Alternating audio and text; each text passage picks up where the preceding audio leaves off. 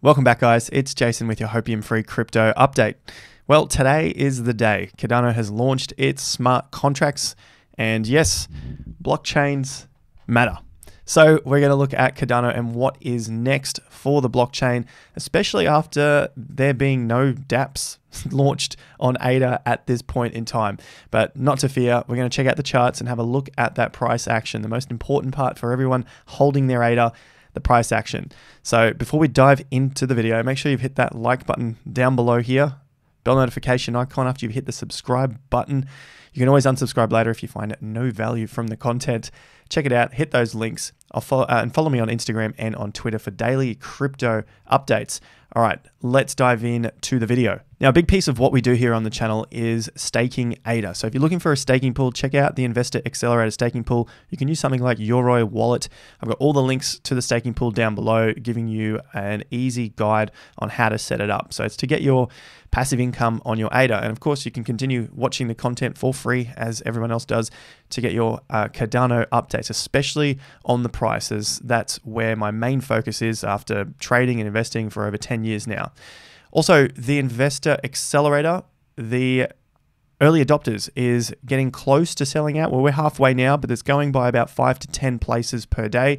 So if you're interested in it, sign up early in the month, get the whole month. And today we have recorded our weekly market update. So uh, if you jump on board today, you'll see that come out uh, in the next few hours as well. So check it out. Links are down below for the Investor Accelerator to learn more about trading and investing.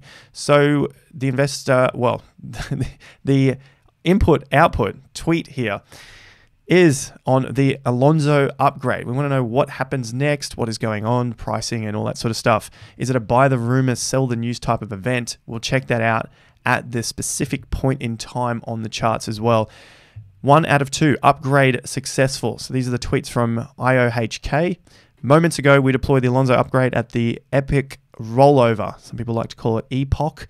Some people call it Epic. All right, let's call it an Epoch to keep the haters satisfied.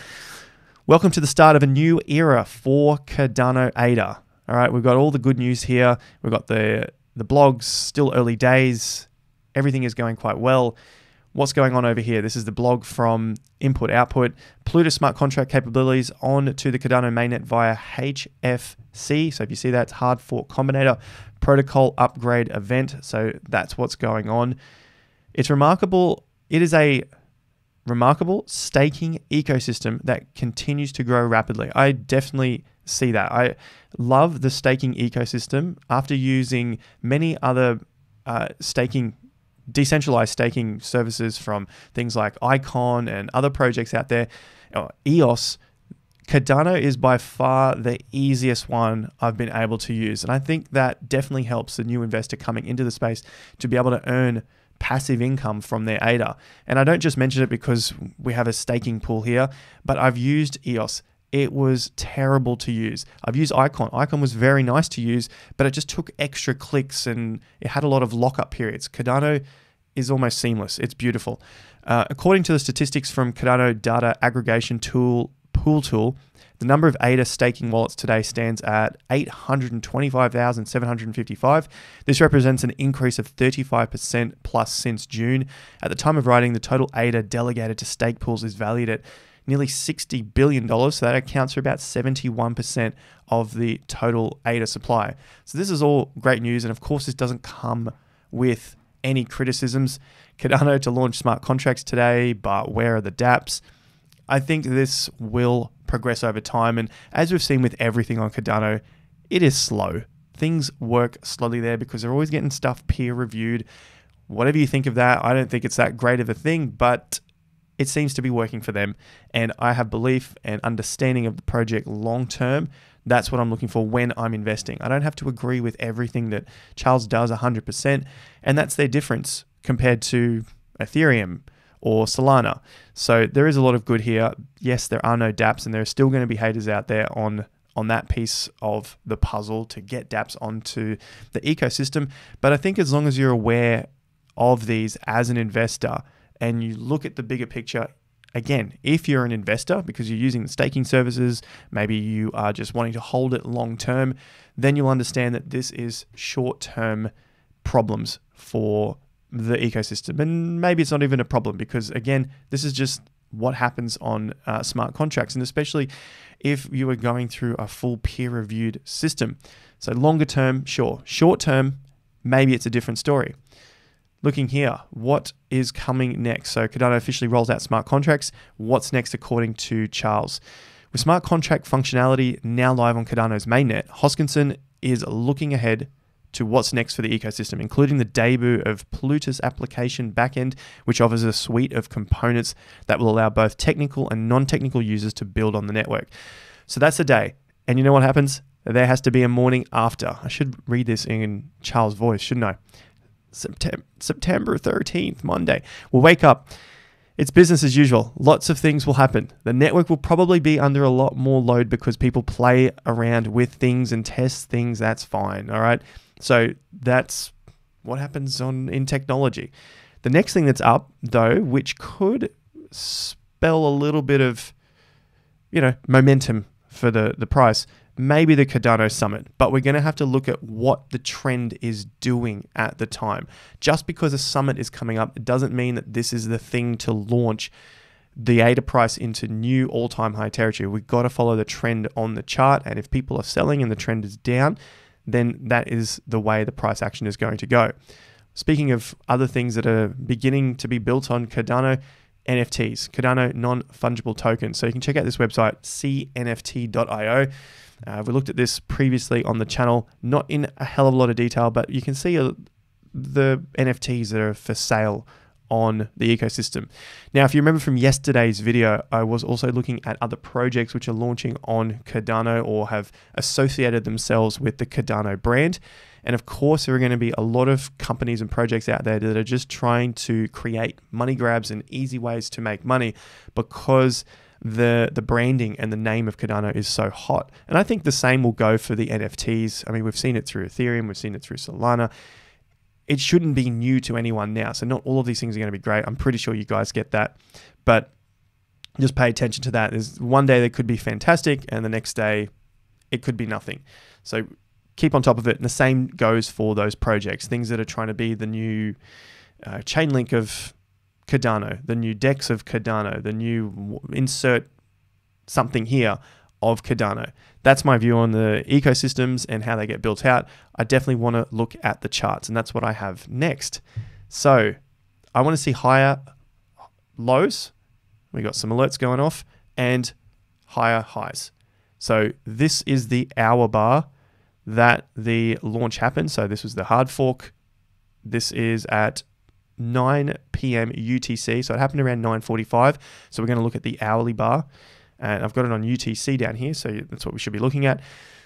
And that was the exact time that we had the hard uh, the hard fork. The market ran up for a little bit, barely anything. If we went from the bottom of that hour to the top of the next five percent, if we take it from the close of the previous bar to the top around two percent, or even the close of um, the the peak and then we started to fall back. It's only been a, it's about about a percent, but not much has actually happened since the the hard fork. What has actually happened is the market is falling and it's beginning to break down from support zones. Now, before you get a little bit scared and start selling off absolutely everything, just keep in mind that this is a short-term time frame. We're on an hourly chart here as well. We're looking at the hourly chart because I wanted to figure out exactly when the news well, and when exactly the event happened, and nothing really happened on the event. The market was in a downtrend overall. You can see here that we're just downtrend. And the next levels which we need to see holds are around 220 to 230 in order for us to maintain some sort of strength in the market. And I've got 220 to 230 because if we drop it back onto a daily chart, you'll see where the highs and the lows come in. And that 220 to 230 level is the previous swing top. So that came in at 228. So I'm giving a little bit of leeway, especially for any sort of wicks that would happen if you were using candles or you know just the the low of the bar. So if we throw it on candles, you can see the massive wicks that had, had formed here and are trying to hold up. So we've got some big wicks to the upside as well from the last couple of days, and they're just hitting out underneath the previous support level. So on a subtle look at the market here, this is what we're seeing. Can see the wicks hit some resistance, and now dropping back down. So the idea here is we want to see some support hold at around 220, 230. Overall, if I had to take a stab at it from what I'm going to be, the way I'm going to be playing the market is I'm looking for lower prices at the moment. Now, I think if we start to break down through these closes and these opens, which is the body of the candle, then we will see probably lower prices tested. So we need to come back and test that sort of 220 to 225, 230 area. So it's not anything huge. If you're just holding it, staking it, not worrying about it, you know, that's probably only 10% in it. Not that big of a deal. Should we see further downside and these lows tested because the market is trying to consolidate? Then we've got lows at around the $2 mark, so that $1.95. That could bring us back about 20% or so. Uh, long term, I have to wait and see how the market is responding after this launch. And again, they're my areas there. The next target areas would be at these previous highs. So that's around that $1.80 through to about $2. So they're my two levels that I'm watching. Of course, the major 50%. The major 50% comes in just uh, in between those two at around that 210. So you can see 207 here, 208. So that's right in the middle. So I think if we break down, then we're on the weaker side. This would be a nice area for consolidation even back to these highs. A long way from that from those levels at this point, so I'm not too concerned at the moment. But ideally, this would be the solid base here at 220 to 230. Ideally, that's where I'd want to see it. Looking at ADA BTC, same sort of deal. This was the bar. So we're on an hourly chart again. This was the hour that the smart contracts will launch. And since that point on the BTC chart, ADA BTC has fallen. So every hour after that has been down, down, down. We look for support and resistance levels, same sort of deal. This grouping here, this area uh, that the market was churning around, that's where I would want to see it hold up again. And that is around the 5,000 to about 5,400 level. So we're not far off that at the moment. I would be putting, if you were following this yourself, I would definitely be putting in some alerts just to see how the market reacts when it gets to that 5,000 level.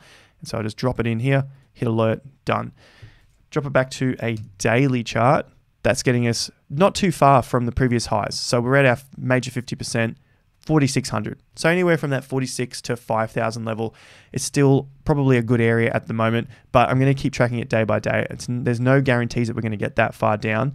And especially after we've come up like a good bounce, then this is definitely my my area that I'm watching around that 5,000 level because a swing low has been put in there and the market is on its way down quite quickly now. So I'm going to wrap this up in a second, get this video out to you guys so you can watch it and keep a track of these price points on the markets. Uh, finally, if you want to watch something after this video, check out my other videos or my brother's channel, Michael Pizzino. Uh, he's been doing some great things with TA. He follows Gann, Wyckoff, and Elliott Wave in detail don't worry about this. This is probably the next cycle, but this is a really good video to check out if you want to understand some uh, timeframes and some cycles for this current cycle of Cardano and price targets that he's also looking at. So I'll leave Michael's link down below in the description of this video. Check it out down there. Don't forget to check out the Investor Accelerator while you're down there as well.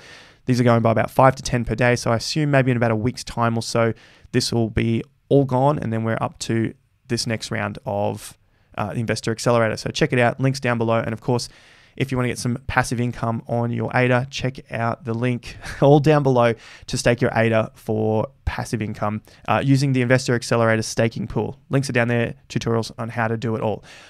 I'll wrap it up there. I'll see you guys at the next video.